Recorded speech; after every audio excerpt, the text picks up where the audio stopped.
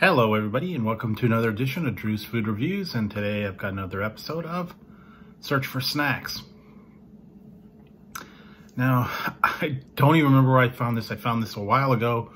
I think it was in my grocery store. I'm gonna give it a try. Don't know anything about it and I don't even know if it's still out there. It's been sitting there a really long time and uh, might be past its expiration date. It's in the freezer.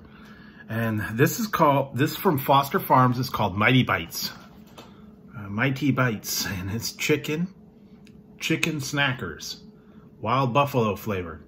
Now this one's a little different because what you do is it says hold on to your taste buds because they're about to be trampled by wild buffalo style wing flavor. Mighty Bites crispy chicken snackers have big bold flavors. Sprinkle on the classic buffalo style seasoning for a flavor that will make your taste buds go wild.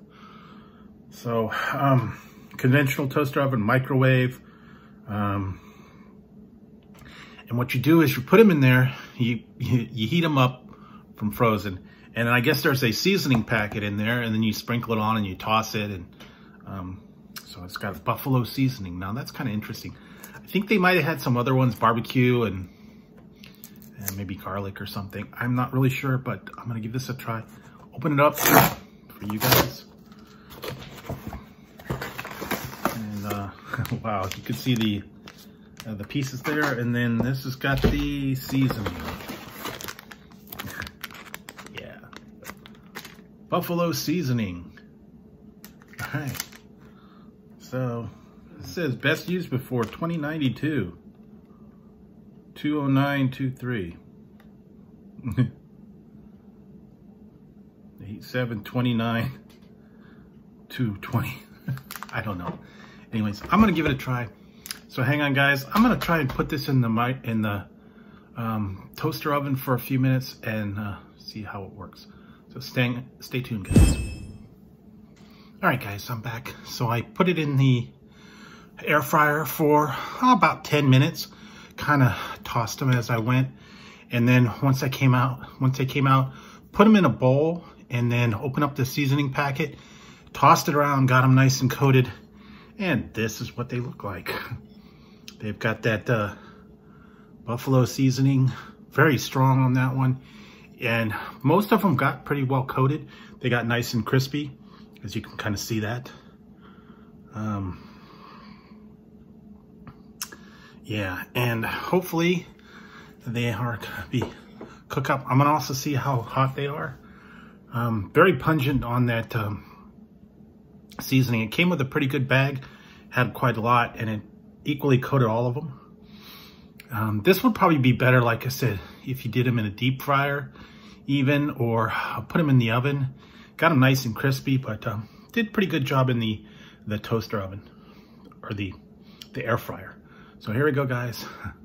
The Mighty Bites Buffalo. Right. Mm. Very crispy. Little, whoa, that's got some kick to it. Whoa. Buffalo bites, yeah. Very spicy on that buffalo.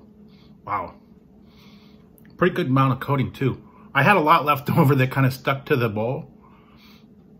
I suppose I could uh, kind of scrape it off and toss it on there if you want it really hot.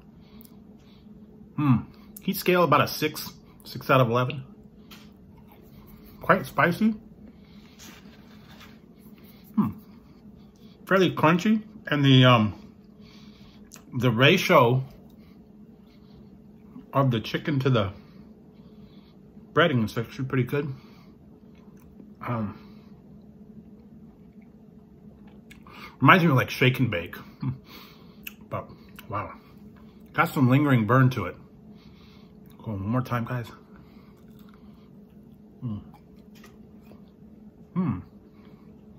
You can see that they got heated through. Wow. Fair amount of cutting. That's the, those are actually good.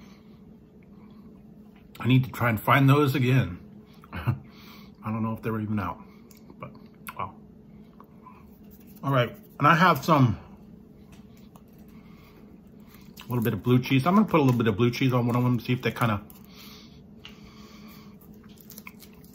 helps tame it down.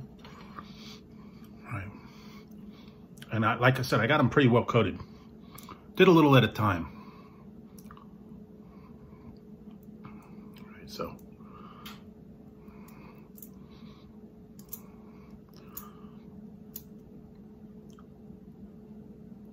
All right, so yes.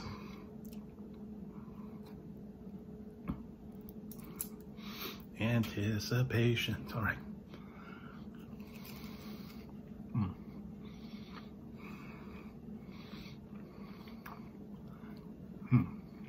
Not bad. The blue cheese does help. Suppose you could dip it in that. Hmm. Still pretty spicy throughout. Lingers a little bit. Those are actually very good. Um, as far as chicken, tenders are not mushy, they're not soggy. I think the air fryer really helped uh, crisp those up. A lot of times when you get the frozen chicken pieces, they're all kind of, um, you know, mushy and stuff like that. These are actually really good. And yes, it does kind of wake up your taste buds, I guess. So for that one, hmm, surprised. I'm surprised about this one for the flavor, for the uh, texture, all that stuff.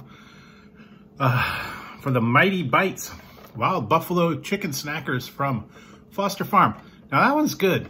I'll give that a 9. 9 out of 11. It's not like as good as some of those, um, the Spicy McNuggets or the, um, the Ghost Pepper Nuggets and some of those. Um, it doesn't have the tempura batter. It's got that uh, corn and cornmeal batter. So that's the one thing that